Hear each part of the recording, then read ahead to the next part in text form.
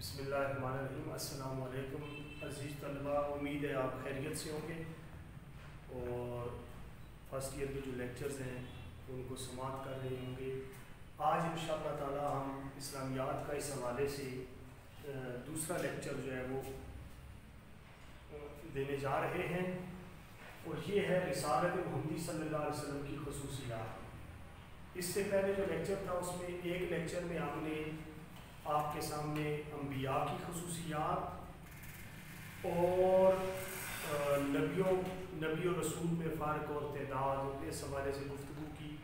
دوسرے لیکچر میں ہم نے وہی کا مفہوم، اقسام اور طریقے تفصیل سے ڈسکس کیے۔ یہ لانگ کوشچن آتا ہے اکثر لانگ کوشچن اس میں ہوتا ہے کہ رسالت محمدی صلی اللہ علیہ وسلم کی خصوصیات specifications of the prophethood of holy prophet صلی اللہ علیہ وآلہ وسلم۔ یعنی حضور علیہ صلاحۃ السلام جو ہے، آپ کی رسالت کی کیا خصوصیات ہیں؟ یعنی حضور علیہ السلام کی جو رسالت ہے، وہ کس طرح باقی نبیوں سے اعلیٰ ہے، اونچی ہے اور فرق کیا ہے؟ تو یہ بہت لینتھی ٹاپک ہے۔ اس کو انشاءاللہ میں کلوز کروں گا ایک لیکچر کے اندر۔ تو سب سے پہلے رسالت محمدی صلی اللہ علیہ وسلم کی جو خصوصیت ہے، وہ ہے عمومیت عام نبی ہونا۔ آپ صلی اللہ علیہ وسلم سے پہلے جتنے نبی آئے، وہ کسی خاص علاقے کے لیے آتے تھے، کسی خاص زمانے کے لیے آتے تھے، کسی خاص قوم، کسی خاص جھوک کے لیے آتے تھے، کسی خاص وطن کے لیے آتے تھے۔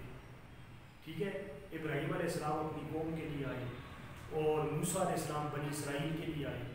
ٹھیک ہے، عیسیٰ علیہ السلام نے خود کہا کہ انہوں نے کہا کہ بنی اسرائیل کی گم شدہ بھیڑوں کی طرف جانا۔ یعنی بنی اسرائیل کی قوم کو بھیڑ کہا گیا۔ تو وہ صرف بنی اسرائیل جو یعقوب علیہ السلام کی اولاد ہے ان تک نبی بن کر آئے۔ کوئی نبی کسی خاص علاقے کے لیے، کسی خاص زمانے کے لیے، کسی خاص نسل کے لیے، کسی خاص وطن کے لیے اسپیسیفک ایریاز کے لیے آتے تھے۔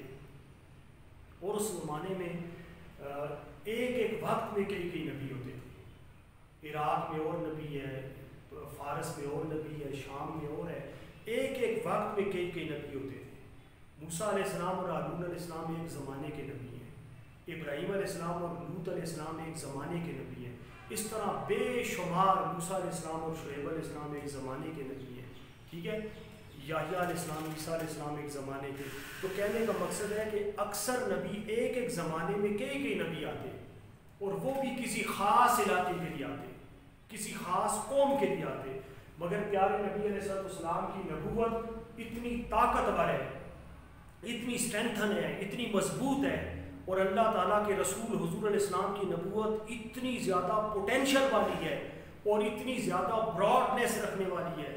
اتنی زیادہ وسعت رکھنے والی ہے کہ جب پیارے نبی صلی اللہ علیہ وسلم آئے تو اللہ تعالیٰ نے آقا کریم علیہ السلام کے آنے پر یہ ساری سرحدوں کی دیواریں توڑ دی کسی قوم، نسل، علاقے، وطن، زمانے کے لیے نہیں بھیجا، بلکہ فرمایا، میرا نبی، تو اتنی شان والا، اتنی عزت والا، اتنے مقام، رتبے اور کمال والا میرا نبی ہے کہ تجھے میں ساری کائنات کے لیے نبی بنا کر بھیجتا ہوں۔ آقا نے سامنے فرمایا قل یا الناس انی رسول اللہ علیکم جمیعا. اے اللہ کہتے ہیں نبی، ان لوگوں سے کہہ دیں کہ میں تم سب کے لیے اللہ کا نبی بن کر آیا ہوں۔ میں کسی خاص علاقے، کسی خاص وطن، کسی خاص زمانے کے لیے نبی بن کر نہیں آیا، بلکہ سارے انسانوں کے لیے میں اللہ تعالیٰ کا نبی بن کر آیا ہوں۔ تو آقا کریم علیہ السلام کی نبوت عمومیت ہے۔ ساری کائنات پر حضور علیہ السلام کی نبوت چھائی ہوئی ہے۔ اس کے بعد ہے پہلی شریعتوں کا نسخ۔ ٹھیک ہے نا؟ اس نسخ کا مطلب ہے کینسلیشن آقا کریم علیہ السلام کے آنے سے پہلی ساری کتابیں کینسل ہو گئی صرف قرآن باقی رہ گیا۔ آقا کریم علیہ السلام کے آنے سے پچھلے سارے جو سلیبس تھے، وہ آؤٹ ڈیٹڈ اور ایکسپائر ہو گئے۔ اور حضور کے آنے سے اب قیامت تک قرآن ہی ایسی کتاب ہے جو کبھی کینسل نہیں ہوگی۔ آقا علیہ السلام کی امت، آخری امت، حضور علیہ السلام کا دین آخری دین، اور آقا کریم علیہ السلام کی جو شریعت اور کتاب اور قانون ہے، اس نے سارے قوانین کو کینسل کر دیا۔ اور قیامت تک کے لیے جو ریوائز سلیبس ہے، اور ایڈوانس سلیبس ہے، اور رہتی دنیا تک جو سلیبس ہے، وہ اللہ تعالیٰ نے قرآن کا اسلام کر دیا۔ فرمایا ان دین عند اللہ اسلام اللہ تعالیٰ کی نظر میں اب دین صرف اسلام ہے۔ یہودیت بہت اچھا ہوگا جب موسیٰ علیہ السلام پہ اترا تھا۔ عیسائیت بہت اچھا دین ہوگا جب عیسیٰ علیہ السلام پہ اترا تھا۔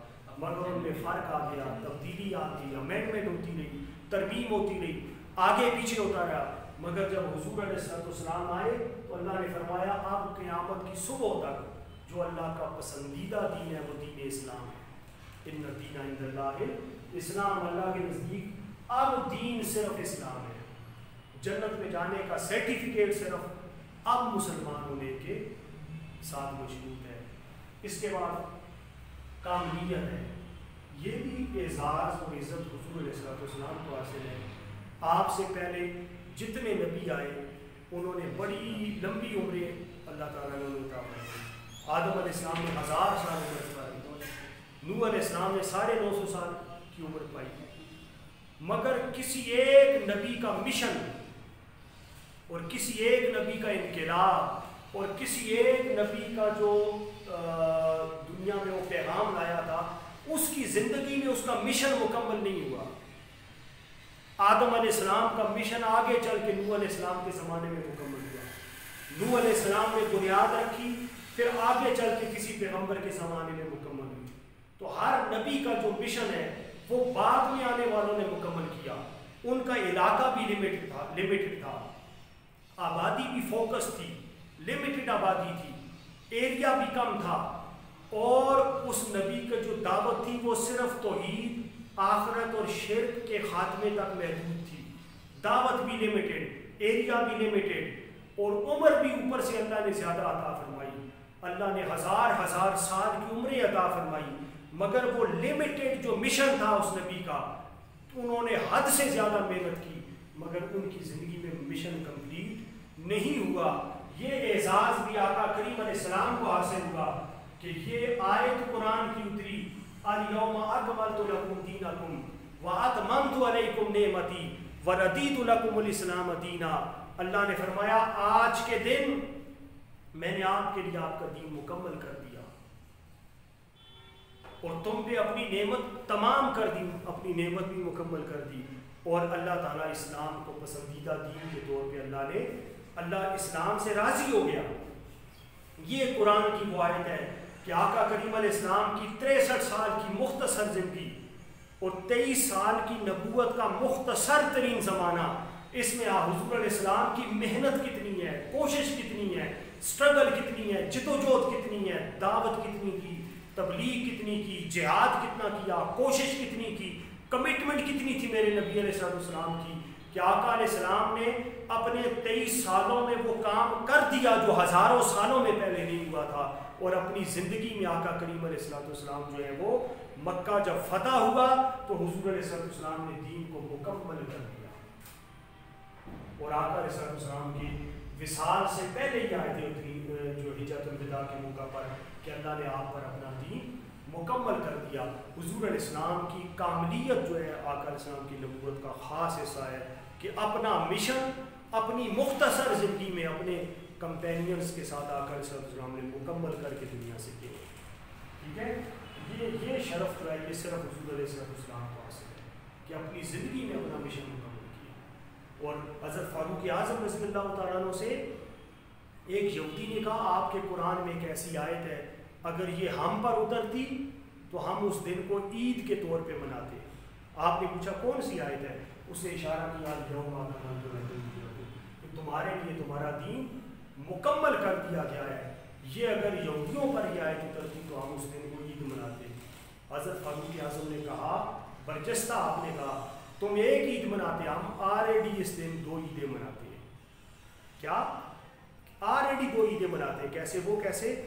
کہا اس لیے کہ یہ آیت جمعے کو اتری اور جمعہ مسلمانوں کے دن کے لیے عید کا دن ہے اور یہ آیت جو ہے وہ عرفات کے میدان میں اتری ہے اور وہ دن بھی یوم العرفہ مسلمانوں کے لیے عید کا دن ہے۔ ٹھیک ہے، تو آلریڈی ہم دو عیدیں مناتے ہیں۔ اس کے بعد حفاظت اختیار۔ یاد رکھتے یہ عزت بھی آقا کریم علیہ السلام کو حاصل ہوئی کہ اللہ نے حضور علیہ السلام کی کتاب کی حفاظت کی گارنٹی خود اٹھائی۔ پہلی کتابوں کے معاملے میں ایسا سلسلہ نہ تھا، یہی وجہ ہے کہ تو رات سات بار جلی ہے۔ اور جب بھی جلتی تھی، بعد میں آنے والوں کو جتنا یاد ہوتا تھا، اس کو پھر وہ نئے سرے سے لکھتے تھے۔ سات بار جلی ہے، اور ہیکل سلیمانی میں تو رات جلتی رہی ہے، جو بیت المقدس میں سلیمان علیہ السلام نے بنایا تھا۔ پھر عزیر علیہ السلام کو جتنی یاد تھی، آپ کو حفظ تھی، آپ نے دوبارہ اس کا ریوائول کیا اور نئے سرے سے تو رات کو لکھا۔ تو آسمانی پہلی کتابیں بھی اللہ نے اتاری تھی۔ وہ بھی اللہ کے نبی تھے۔ مگر ان کی کتابیں کبھی جل جاتی تھی، کبھی مٹ جاتی تھی، کبھی تبدیل ہو جاتی تھی۔ ان کی اپنی زبان آج تک محفوظ نہیں ہے۔ تو رات عبرانی زبان میں اتری تھی، آج دنیا میں کہیں عبرانی زبان بولی نہیں جاتی۔ ٹھیک ہے؟ وہ کتابیں جل گئیں۔ اس طرح انجیل اصلی اپنی زبان میں محفوظ نہیں ہے، اس کے ترجمے ملتے ہیں۔ اور انجیل کے اندر دس ہزار سے زائد اختلافی روایات ہیں۔ یہ انہوں نے خود تسلیم کیا انہوں نے جو برناٹیکا میں انہوں نے پچاس سال جو ہے وہ ریسرچ کی ہے جرمنی کے اندر۔ انہوں نے تسلیم کیا کہ جو ہے وہ انجیل اس میں دس ہزار اختلافی روایات ہیں یعنی تضادات ہیں اور اور باتیں لکھی ہوئی ہیں۔ تو کہنے کا مقصد ہے کسی کتاب آج دنیا میں محفوظ نہیں ہے، لیکن قرآن کے بارے میں اس کا ایک ایک حرف، ایک ایک لفظ، ایک ایک حصہ قرآن پاک کا اسی طرح محفوظ ہے جس طرح پیارے نبی علیہ السلام کے قلب مبارک میں اترا تھا۔ کیوں؟ اللہ نے وعدہ کیا ان نحن نزلنا ذکر و انا له لحافظون۔ بے شک اس ذکر کو ہم نے اتارا ہے اور ہم ہی اس کی حفاظت کرنے والے ہیں۔ تو چونکہ قرآن اللہ نے اتارا ہے اور اللہ ہی اس کی حفاظت کریں گے، اس لیے قیامت تک آج دیکھیں دنیا میں کسی ایک چیپٹر کی کتاب کے بھی اتنے حافظ نہیں ہیں۔ جتنے قرآن پاک جس کی عربی زبان ہے، اس کے اللہ تعالیٰ نے حافظ رکھے ہیں۔ ایک سو چودہ صورتوں کے اتنے زیادہ حافظ ہیں۔ یہ حفاظت قرآن ہے اور لکھی ہوئی شکل میں موجود ہے۔ پھر حفاظت سنت ہے حضور علیہ السلام آقا کریم علیہ السلام کا اٹھنا، بیٹھنا، چلنا، پھرنا، سونا، جاگنا، آقا کریم علیہ السلام بولتے کیسے تھے، دیکھتے کیسے تھے، سنتے کیسے تھے، سوتے کیسے تھے، آقا علیہ السلام چلتے کیسے تھے پھر حضور علیہ السلام کا حلیہ مبارک آپ کے بال مبارک کیسے تھے؟ مانگ کہاں سے نکالتے تھے؟ آقا علیہ السلام کے ابرو مبارک کیسے تھے؟ ابروؤں کے درمیان جو رگ تھی، اس کی کیفیت کیا تھی؟ آقا علیہ السلام کی بینی مبارک ناک مبارک کیسی تھی؟ لب مبارک کیسے تھے؟ رخسار کیسے تھے؟ دانت کیسے تھے؟ دانتوں کے درمیان خلال کیسا تھا؟ اس خلال میں سے نور کیسے نکلتا تھا؟ آقا علیہ السلام کی ہتھیلیاں کیسی تھیں؟ انگلیاں کیسی تھیں؟ کلائیاں کیسی تھیں؟ حضور علیہ السلام کے گوشت مبارک، آقا علیہ السلام کے دوش مبارک، میرے مصطفیٰ کا جوش مبارک اور حضور علیہ السلام کا ہوش مبارک اور آقا علیہ السلام کا نوش مبارک۔ آپ کا چلنا، آپ کا پھرنا، آپ کا دیکھنا، آپ کا بولنا، ایک ایک شے حضور علیہ السلام کے پاؤں مبارک، آقا کریم علیہ السلام کی بولنے کا طریقہ مبارک، ایک ایک شے اللہ تعالیٰ نے سنت کی شکل میں محفوظ کر رکھی ہے۔ یہ بڑی خاص بات ہے، حضور علیہ السلام کی سنت پر جتنا کام ہوا۔ حدیث پر پھر جتنا کام ہوا کہ ساٹھ سوا پانچ لاکھ افراد سے زیادہ لوگ ہیں جو حدیث کو نریٹ کرنے والے ہیں۔ ان سب کا بایو ڈیٹا کہ کس نے کس سے حدیث سنی ہے، مکمل بایو ڈیٹا اور ان کے کریکٹر اور ان کے حالات زندگی اسلام نے سینکڑوں سال پہلے محفوظ کر لیے آپ کا قادم نے ساتھ اٹھائیں، آپ حیران ہو جائیں گے جس جس نے میرے نبی علیہ السلام سے حدیث سنی ہے، ایک ایک حدیث کے جو راوی ہیں نریٹرز ہیں، ان سب کا جو ہے وہ حصہ جو ہے وہ ان کا بایو ڈیٹا لکھا ہوا ہے۔ یہ اللہ تعالیٰ نے حضور اسلام کی سنت کی حفاظت کی ہے۔ اور آقا علیہ السلام کی سنت زندہ ہے۔ پھر جامعیت ہے۔ حضور علیہ السلام السلام کا جو دین ہے، اس میں ہر شے اللہ نے جمع کی ہے۔ یہ کمپریہنسو ہے، جامعیت کا مطلب ہے۔ اس میں ہر شے اللہ نے جمع کر رکھی ہے۔ ٹھیک ہے نا؟ یعنی آپ پہلے نبی جو تھے، ان کی دعوت جو تھی حضرت موسیٰ علیہ السلام کے علاوہ، ہر نبی کی دعوت توحید پہ دعوت ہوتی تھی، شیر کی نفی ہوتی تھی ان کی دعوت میں، اور آخرت کا ذکر ہوتا تھا۔ ان تین چیزوں پہ فوکس تھا، توحید، آخرت اور شرک۔ اس سے زیادہ عملی زندگی جو پریکٹیکل لائف ہے، اس کو ڈسکس نہیں کرتے تھے۔ سوائے موسیٰ علیہ السلام کی زندگی جو ہے، وہ اس میں کسی حد تک وہ ملٹی ڈائمینشنل ہے۔ ٹھیک ہے، لیکن حضور علیہ السلام کی جو زندگی مبارک ہے، اس میں اللہ نے ہر طرح کی تعلیم کو جمع کر دیا ہے۔ ہر طرح کے سلسلے کو جمع کر دیا، ہر طرح کے خیر کو جمع کر دیا، ہر طرح کے علم کو جمع کر دیا۔ اور اللہ تعالیٰ نے آقا السلام کی جو نبوت ہے، اس میں جامعیت کا نور بن دیا۔ ہر رنگ حضور علیہ السلام کی ہستی میں نظر آتا ہے۔ پھر ہے ہمہ گیریت ہمہ گیریت کہتے ہیں ملٹی ڈائمینشنل ہونا۔ اور آقا کریم علیہ السلام کا جو ہے وہ ہر چیز پر ہمہ گیر زمانہ ہے۔ ٹھیک ہے نا؟ آقا کریم علیہ السلام کی شخصیت میں اللہ نے ہر شے پر دی۔ جیسے پہلے نبیوں کے زمانے کی مثال لے لیتے، جیسے ایک اسٹور ایک دکان ہوتی ہے، سبزی کی الگ ہے، فروٹ کی الگ ہے، ٹھیک ہے نا؟ منیاری کی الگ دکان ہے، جنرل اسٹور الگ ہے، ٹھیک ہے، چھوٹی چھوٹی چیزیں الگ ہیں آپ نے کیا نام ہے ایزی لوڈ کرانا ہے، اس کی الگ دکان ہے، ٹھیک ہے؟ ہر چیز کی الگ الگ دکانیں ہوتی تھیں۔ لیکن ایک ہوتا ہے میگا اسٹور جسے شاپنگ مال کہا جاتا ہے۔ ٹھیک ہے نا؟ بڑے مالز ہوتے ہیں۔ ان کے اندر مالز میں کیا ہوتا ہے کہ ایک چھت کے نیچے آپ کو ہر شے مل جاتی ہے۔ دنیا میں ایک ایسا کینیڈا میں ایک ایسا شاپنگ مال ہے، جہاں سے اگر آپ کو سوئی بھی چاہیے، سوئی سے لے کر اگر جہاز بھی خریدنا ہے، تو ایک چھت کے نیچے آپ کو مل جائے۔ گا پہلے نبیوں کی دکانیں تھیں۔ کسی نے آجزی کا سودا لینا ہوتا، آدم علیہ السلام کی دکان پہ جاتا۔ کسی نے دعوت کا سودا لینا ہوتا نو علیہ السلام کی دکان پہ جاتا۔ کسی بندے نے صنعت کا سودا کریگری کا سودا لینا ہوتا، حضرت داؤد علیہ السلام کی دکان پہ جاتا۔ کسی بندے نے بکریاں چلانی سیکھنی ہوتی، ابراہیم علیہ السلام کی دکان پہ جاتا۔ کسی بندے نے درسی کا فن، یہ علم سیکھنا ہوتا ہے ادریس علیہ السلام کی دکان پہ جاتا۔ کسی بندے نے خوبصورتی کا سودا لینا ہے، یوسف علیہ السلام کی دکان پہ جاتا، کسی نے صبر کا لینا ہے، ایوب علیہ السلام کی دکان پہ جاتا، شکر کا لینا ہے، یعقوب علیہ السلام کی دکان پہ جاتا۔ ہر بندے نے کسی نے زہد، دنیا سے بے رغبتی کا سودا لینا ہے، اخلاق کا سودا لینا ہے، عیسیٰ علیہ السلام کی دکان پہ جاتا، جانا پڑتا۔ کسی بندے نے تجارت کا سودا لینا ہے، شعیب علیہ السلام کی دکان پہ جاتا۔ یعنی ہر نبی کی دکانیں الگ الگ تھیں۔ مگر پیارے نبی علیہ السلام آئے، اللہ نے ایک ایسا میگا اسٹور بنا دیا رسول اللہ کی ہستی کو کہ اب کسی بندے کو کسی اور دکان پہ جگہ جگہ جانے کی ضرورت نہیں ہے۔ ہر شے آپ کو محمد مصطفیٰ کریم علیہ السلام کی چھتری کے نیچے مل جائے گی۔ کسی نے جمال دیکھنا ہے، آقا علیہ السلام کے یوسف سے بڑھ کر جمال حضور کے چہرے میں نظر آئے گا۔ صبر دیکھنا ہے، ایوب علیہ السلام سے زیادہ آقا کریم علیہ السلام میں صبر نظر آئے گا۔ شکر دیکھنا ہے تو زیادہ نظر آئے گا۔ دعوت دینی ہے تو زیادہ جہاد دیکھنا ہے تو زیادہ، اخلاق دیکھنے ہے تو زیادہ۔ آقا کریم علیہ السلام کی ہستی میں اللہ تعالیٰ نے ہر شے کو جمع کر دیا ہے۔ اور ہر شے اللہ نے آقا کریم علیہ السلام کو عطا فرما دی ہے۔ تو حضور علیہ السلام ساری کائنات میں اس طرح چھائے ہوئے ہیں۔ اور پھر ایک عالمگیریت ہے۔ حضور علیہ السلام سے پہلے جو نبی آئے تھے وہ کسی خاص علاقے کے لیے آتے تھے۔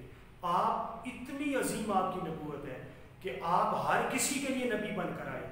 اور سارے زمانے کے لیے نبی بن کر اور آپ کی نبوت کا زمانہ کسی خاص پچاس سال یا سو سال بعد ختم ہو جانے والا نہیں ہے۔ یعنی آپ ایسے یونیورسل نبی ہیں کہ آپ کا زمانہ ایریا وائز بھی پوری کائناتوں پہ پھیلا ہوا ہے، فرش سے لے کر آج تک۔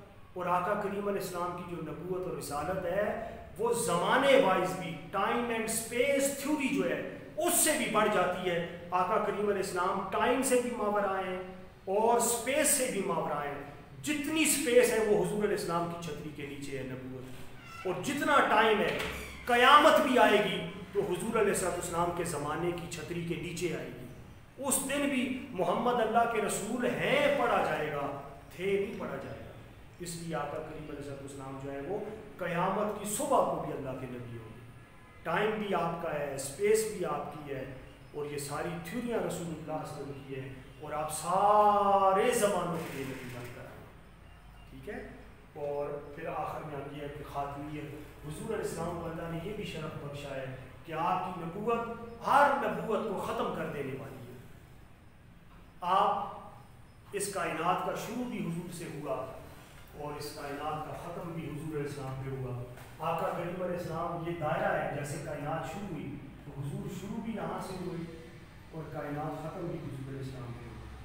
حضور علیہ السلام آخری نبی ہے تخلیق میں سب سے پہلے نبی ہیں۔ حضور نے فرمایا، ٹھیک ہے حضرت جابر نے پوچھا، حضور آپ کب کے نبی ہیں؟ آپ نے فرمایا کہ یا جابر، ان اللہ تعالیٰ کا خالہ کا قبل الاشیاء نور نبی کا من نوری۔ اے جابر، اللہ نے ہر شے سے پہلے اپنے نبی کا نور، اپنے مبارک نور سے پیدا فرمایا۔